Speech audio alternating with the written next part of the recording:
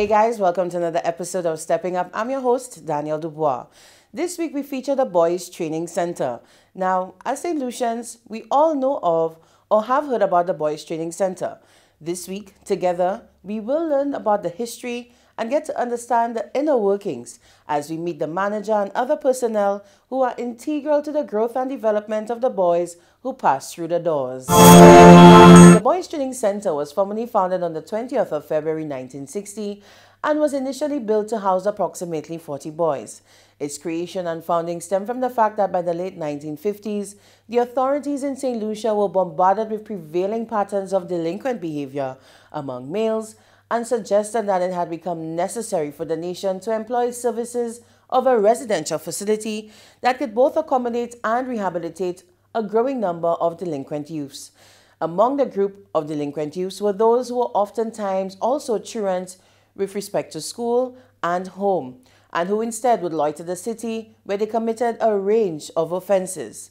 Thus, it became necessary for the state to seek to remedy the situation through a residential agency that would offer such youths greater supervision than what they were receiving in their respective domestic settings. At the time, there was no existing non-governmental organization or private entity that could cater to such a great societal need.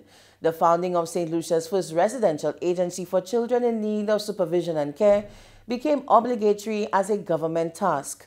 Mr. Stanislaus James, now Sir Stanislaus James, is credited with being the chief founder of the facility that would thenceforth provide supervision and care for such youths. At the time of its founding, the institution was called the Boys Industrial School. In 1976, it was renamed the Boys Training Center. 60 years on, the Boys Training Center continues this mandate till this day. Let's take in the first interview with the manager of the center, Mr. Wang Sonson, as he tells us a little bit more. Mr. Sonson, how are you? I'm okay. Mm-hmm. Thank you very much for agreeing to do this interview. Can you let us know about, just give us a general overview of the Boys Training Center, its mandate, its role, the role that it plays in the St. Lucian society today? Okay, well, the Boys Training Center this year, as I've been said before, is celebrating 60 years of existence in St. Lucia. Um, the center is um, was was originally built to house um, two categories of, of boys. Boys that are in need of care and protection and those that are in conflict with the law. All boys who come to the center come to us via a court order either through the um, human services probations or the police. Um, when the boys get here our mandate at the center is to ensure that they are cared for in a safe environment and at the center, we have a number of activities and programs that are put in place, um, all in the aim of providing rehabilitation to those boys. Um, on staff, we have counselors. We have actually three counselors on staff, a social worker, um, we have a guidance counselor, and their, their role is to provide um, counseling and, and therapeutic intervention to the boys. Each boy, upon coming to the center, is assigned a counselor and um, they partake in either group or individual counseling. We also have um, technical and vocational subjects being offered here to the boys. We also have um, um, class, some boys attend classes here at the center, while some boys would go out to our, our, our secondary schools. We also have a strong sporting program we have a member of staff who's, who's, known as the house mother and that person's responsibility is to look after the well-being of the boys whether it's um, um, medical hygienic and, and, and so forth so we, we have a, a, wide variety of staff who caters to every need of the boys to ensure that when the boys leave here they leave here as rehabilitated and well-rounded human beings so we're just going to jump right into it. Um, we know that the Boys Training Center, there's a lot of misconception out there and a lot of persons don't really know what's really happening inside. So at one time just speak to it and just dispel some of the misconceptions and let us dig deeper into um, these things that you know people say are happening at the center.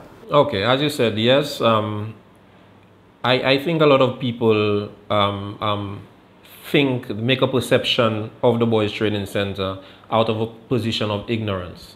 Um, persons who visit the center regularly would know that these um, perceptions are not accurate of the center. Um, over the years, the Boys Training Center has um, been stigmatized. Um, some of it rightly so, but um, some of it probably unfairly. The Boys Training Center, through the years, a number of boys have gone through the center. And the common thing is that um, the perception is that these boys are, are, are, little criminals and when they leave, they graduate onto the Bordelais Correctional Facility. But however, um, it's always the negative which gets highlighted.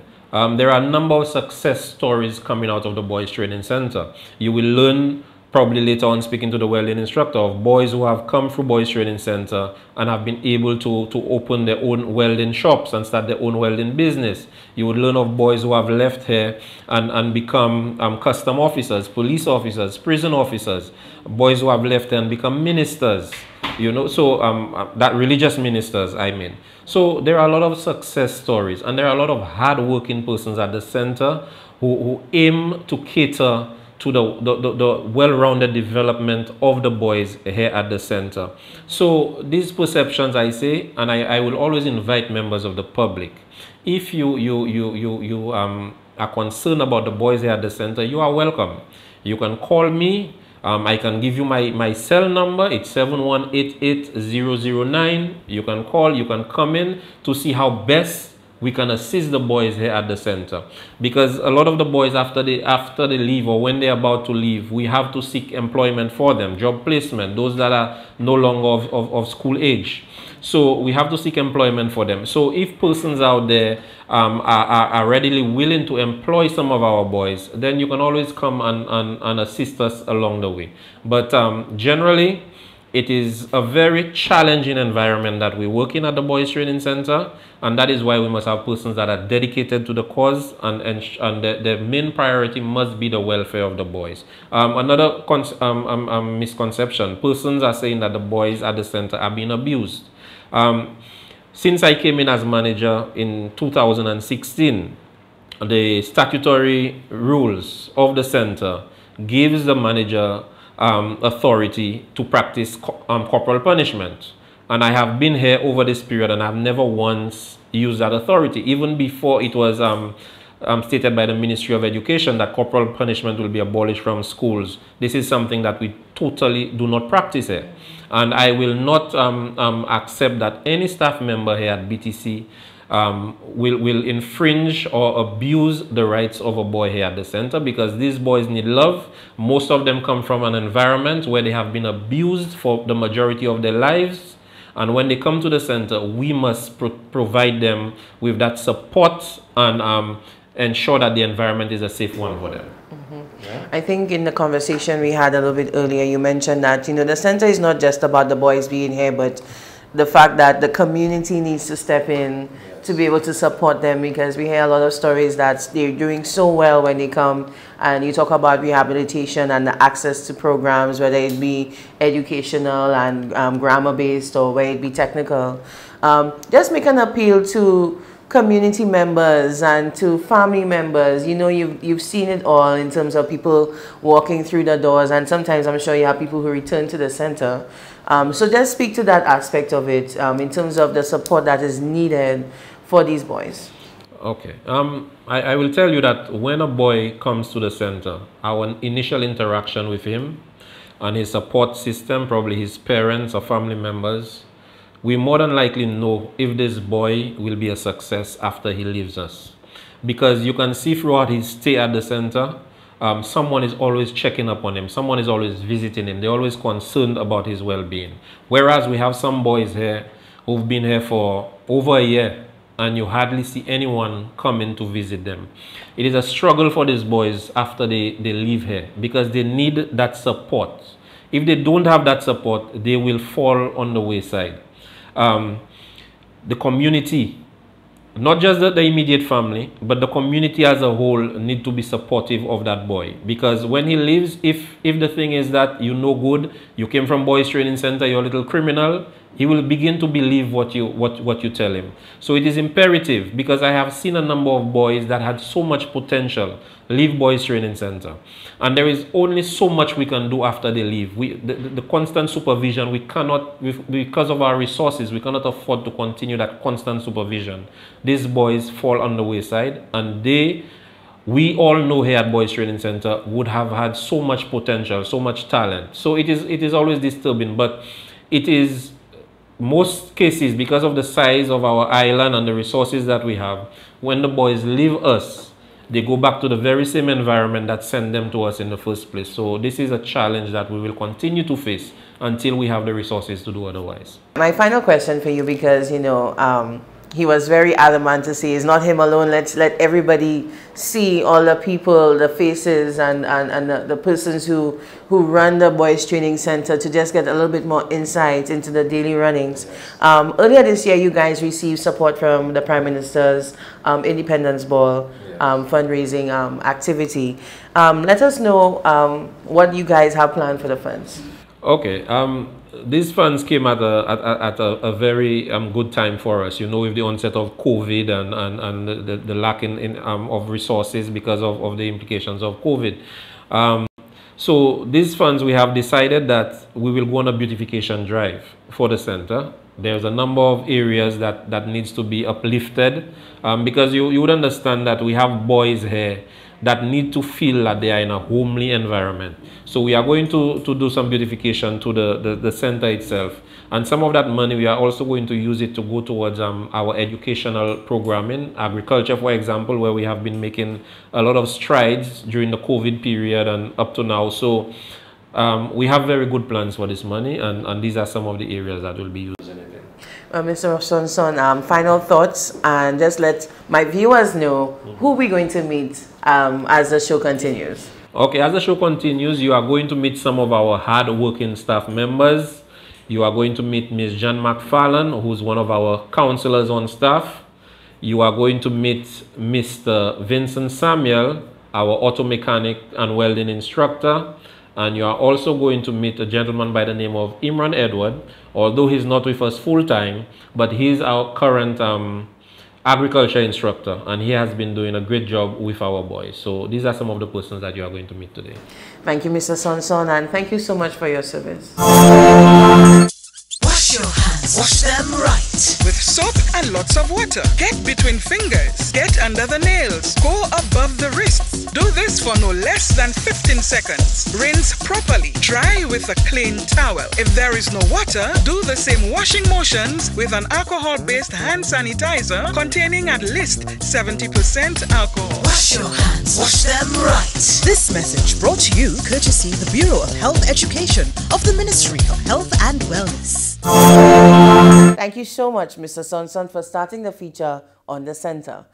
Primarily, the Boys Training Center is engaged in the process of rehabilitative and reintegration of children between the ages of 10 and 18 years old who have been placed at the institution either in the category of children in conflict with the law or children in need of care and protection. Whilst at the institution, all children are exposed to a range of structured programs and activities that enhance their overall psychological development. Such programs, which further their spiritual and character development, are strategically geared towards helping them modify their behaviors while also furthering their academic and vocational growth. As such, children are guided to become productive and functional citizens who will return to their community and contribute to the development and security of the society. In this next segment, we meet the hardworking personnel at the center. The boys go through a daily program similar to school, seeing the counselor, classes, or engage in the welding and farming programs available. So let's meet the people behind the scenes. Jan McFarlane is the counselor at the Boys Training Center, and I'm going to have a quick interview with her, and she's going to let us know what it's like a normal day. What's a typical day here at the center as a counselor? Okay, good morning and thank you. Um, I am one of the counselors, not the counselor at the Boys Training Center. How many counselors? Um, we have three counselors, mm -hmm. um, a social worker, and a guidance counselor who um, does our aftercare program, which okay. is our main focus. Um, so as a counselor at the Boys Training Center, what we do is basically we manage the different cases. So every boy who comes to the center is assigned to one of the counselors at the center. Mm-hmm. And the, can, the counselor takes over um, case management. And what that means is that we develop a holistic plan, which does not only entail psychological services, um, but educational services, building social skills, um, making linkages, collaborations, um, physical health, um, and all of that. So all of that would be part of the boys' treatment plan, which would be then implemented along with other team members at the center. So when the boys come into you, they're assigned to you, you basically get to know them and you develop a rehabilitative plan for them? That is correct. So when they come with us, we do receive some um, basic information from the organization, either it's probations or human services, um, through which they would have come to us. And from that, along with information from the boy himself, as well as family members, um, school administration, if he was enrolled in the school, um, community members, our social worker would conduct a home visit to find out what the, the family situation is. And all of that information would be put into the treatment plan, in the development of that plan for the boy. And then you just, you do that based on the time that you have and Right. So for the duration of his stay with us, if he's with us for three months, six months, a year, that plan would continue until. Nice. What are some of the things that pop up? Um, common issues that you get with the boys who enter the center. Common, I think, um, problems, whether it be in the household or personal issues. What are, on the top of your head, some of the things that are very common with the boys who come to the center? Okay, so I would say one of the most common is um, there's a lot of family dysfunction. So a lot of our boys come from vulnerable communities, um, marginalized families, and so that is, that is one of our biggest issues to contend with. Um, and a challenge with that is that because it's almost like we work with him in a vacuum at the Boys Training Center, it's difficult to make those linkages and those kind of interventions that you need within the family so that when he goes back, there's a better chance of success. So that is a big one for us. Um, a lot of them who come also, there is a lot of um, behavioral issues. Um, so in terms of substance use, um, gang initiation, um, anxiety, a lot of anger, and I, of course I think a lot of the anger comes from the situations that they're coming from, right? Yes, at home, in the community, even in the school, and um, not knowing how to deal with that. Um, a lot of them have poor social skills, um, poor conflict resolution skills. So those are some of the things that we work with them to develop.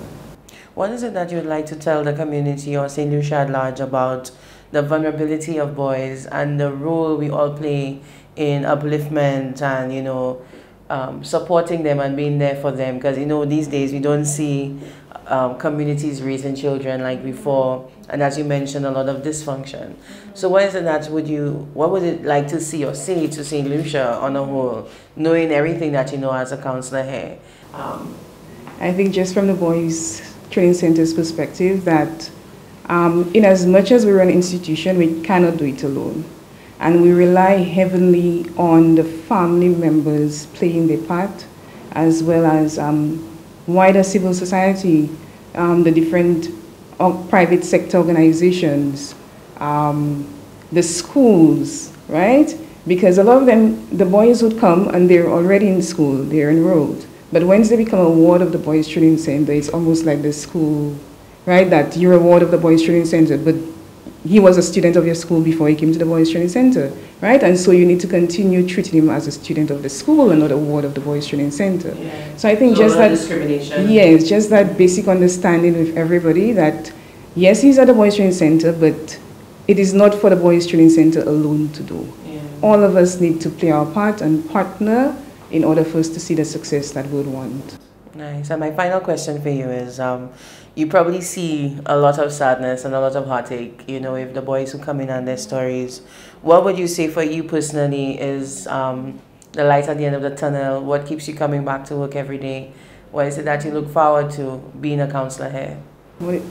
Well, my passion has always been to work with youth.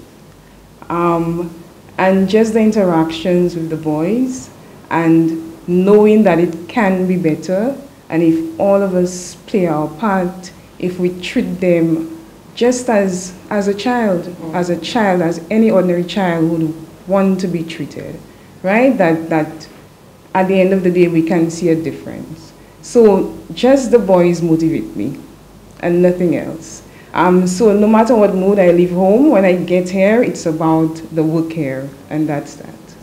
Well, Miss McFarland, thank you very much, and thank you for your service. Thank you so much. Right now, I have the agriculturist man right here first, and I'm going to allow him to introduce himself.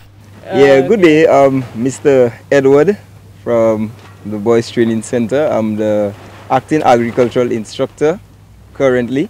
I've been here for a period of eight months. What exactly is the role that you play here? What is it that you do? What is a daily run for you? So basically, um, what I do is I instruct the boys in the field of agriculture and also support the, the center's farm. All right. Um, out here we have a wide range of agricultural activities that the boys are engaged in and we're making a push towards trying to certify a few of them um, in the CVQ. All right. Um, we do crops, we do livestock, and we've also slant into high-tech modern agriculture, for example, practices such as hydroponics, aquaponics, um, that sort of thing. Okay, so you said livestock. What livestock do you have? Okay, currently we have rabbits. We have a, ra a rabbitry that we just initiated a few months back. Um, we also have a poultry pen which we house layers. Currently we don't have layers, but we house layers. And we sell eggs to the community, to members of the ministry, etc. Nice. And what crops do you have? I see, I guess this is an example of um, hydroponics. Right. Mm -hmm. um, yes. So currently in our hydroponic system, all right, this is a vertigrow hydroponic system. We grow crops vertically in it. We have a wide range of crops. We have lettuce, celery, spring onions, which is um, chives. We have Chinese cabbage. And on the ground, you'll see we also have pumpkin. All of that is being grown hydroponically. So let's talk about your experience with the boys. How is it? Do you have any issues teaching them, your engagement with them, what it's like? Okay, um, the boys, they are teenagers. Um, of course, they are from backgrounds where they may be troubled and so on. So they need encouragement. Um, we try to, as much as possible. It's not just academics, but you also have to do a lot of life skill training on the job, mm -hmm. right? But um, so far, I can say my experience with them has been a good one. My final question for you is, um, how important um, is this agricultural program and um, what benefit does it have um, for the world to go through it? Okay, the agricultural progr program is very important, especially now that we're going through a pandemic people are realizing more and more the importance of food and food security, okay? And of course, alternative em employment. Um, I would not say agriculture is alternative employment. I would say it is one of the basic things that human being should be engaged in. So it's very important, especially to these boys, that they have a, a grounding in agriculture or background in it, so that when they go out there, it can be one of the skills that can help them survive out there economically. All right? Yeah. yeah socially, socially, etc. And what's the name of the CVQ you mentioned? Um, well, it's um, CVQ in agriculture. Basically, it's um, Caribbean vocational qualifications. It's mm. re recognized throughout the Caribbean and the world. Well, Mr. Edward, thank you very much and thank you for your service. So we are now in the welding room at the Boys Training Center and I'm going to allow the instructor to introduce himself and let us know a little bit more about what he does on a daily basis. Okay, my name is Vincent Samuel mm -hmm. and I'm the welding and the fabrication um, instructor. Here, basically, we have two boys assigned to this workshop. They actually enroll in the program and we do basic fabrication. As you'd have noticed, if you look around, you see this basic welding and fabrication, you see iron, um, you see welding rods, and you see machines, power tools, as well as hand tools. And of course, some of the boys that are here with us, when they first came here, they didn't know anything about welding. They didn't know what's a chopping saw. They didn't know what's a welding rod. They didn't know what's a, an oxyacetylene plant. But ever since they came here, we have introduced this to them and we try to make it exciting. Now, we do face our own challenges with them as well, the numeracy and the literacy challenge.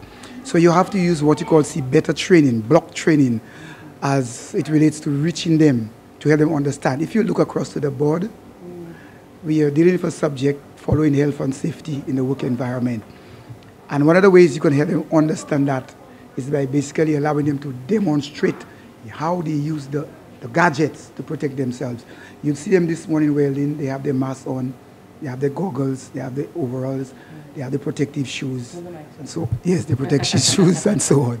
Okay. So what are some of the, um, I'm guessing you said that it's a CVQ program? Yes. A CVQ program. So you're hoping, what are some of the skills that they'll be able to transfer? Besides just welding, what is it that you teach and instill in them? Well, I teach auto mechanics as well. Okay. Um, we've had three guys who left already. They only did three units in the level one auto mechanics program. We have limitations in terms of um, vehicles and engines. We have a few engines across there, but they are, um, I should say, antique, basically. We need more modernized engines to teach them. And because of this, we have been concentrating more on the welding.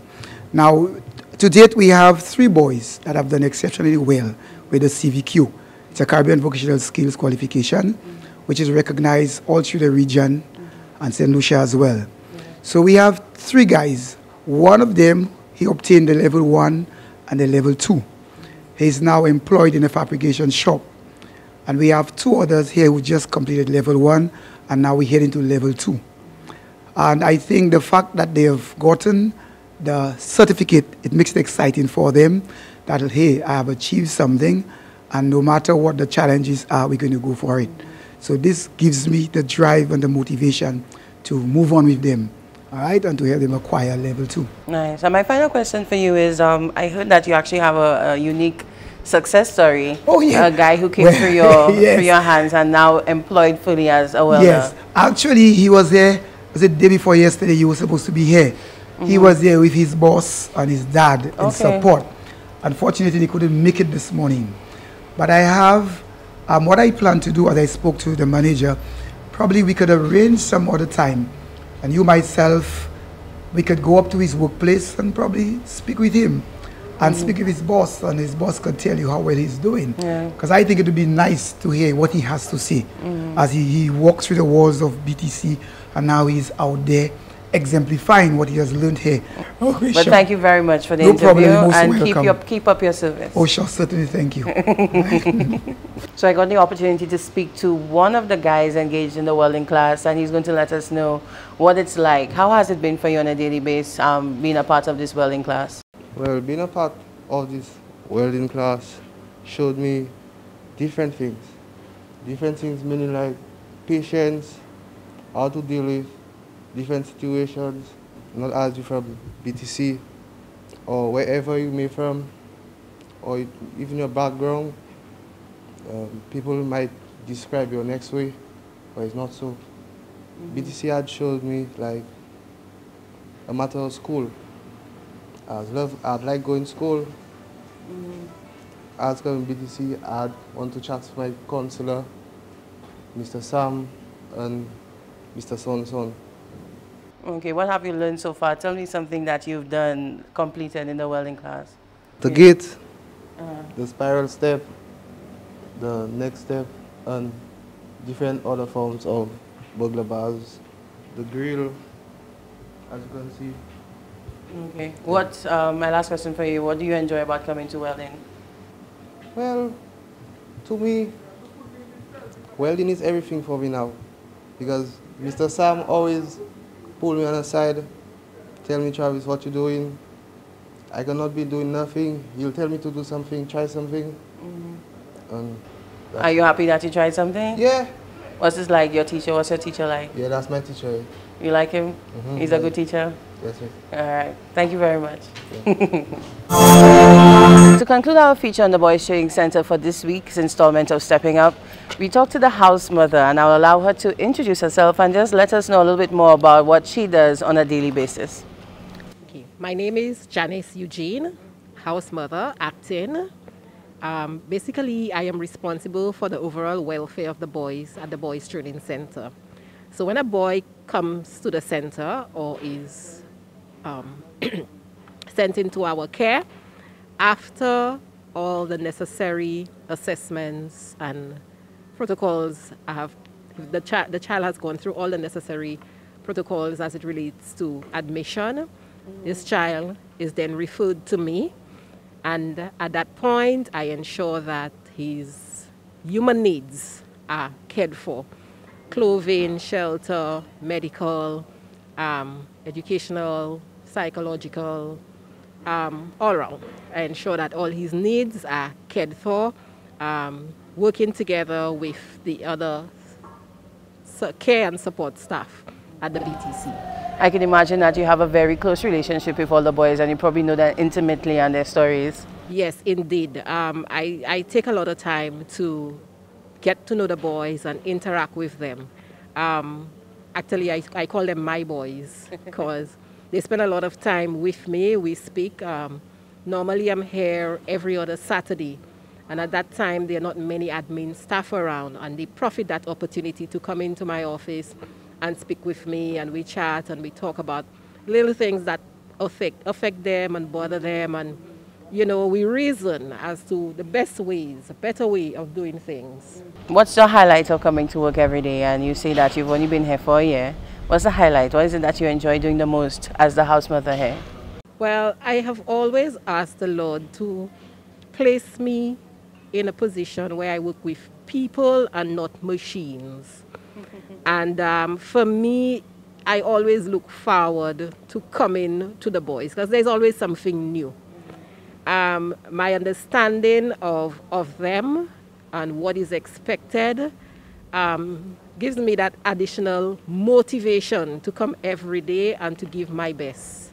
Um, I know, we know that they are trouble boys, but like I have always said, and I always say to them, they are not bad boys.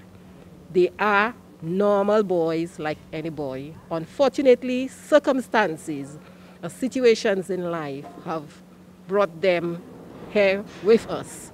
And what we focus on, and I focus on and I try to instill in them, is that it's not lost. You're at the bridge. We can cross it safely.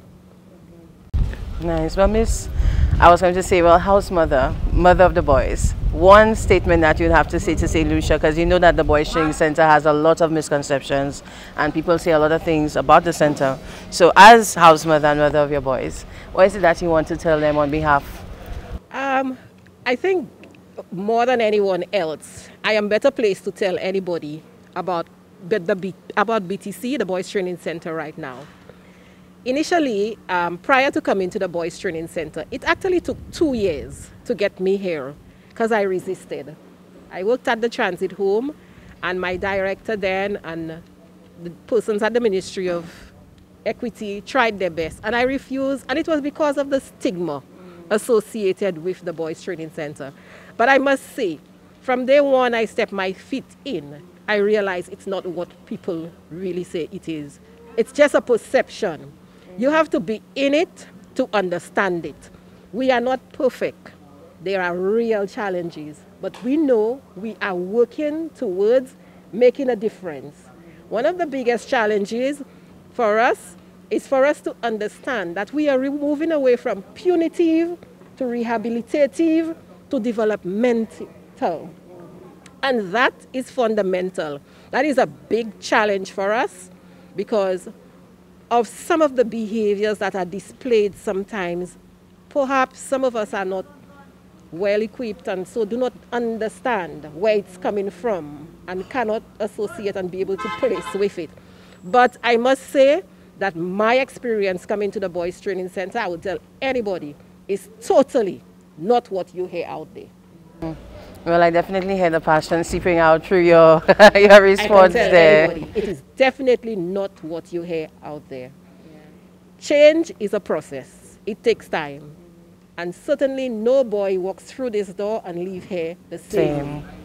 And that's the most important thing the most important thing. Well, thank you very much for interviewing, well, um, being part of this interview.